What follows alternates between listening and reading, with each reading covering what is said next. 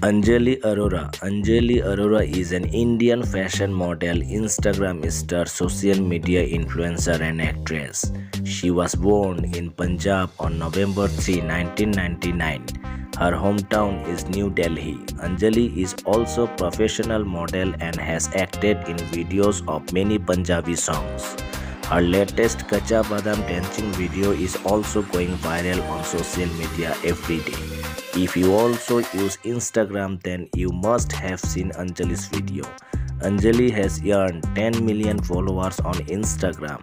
Anjali is the most trending girl in India for the month of January 2022. She has a lot of followers on Instagram. If you want to follow her then just go to my description box.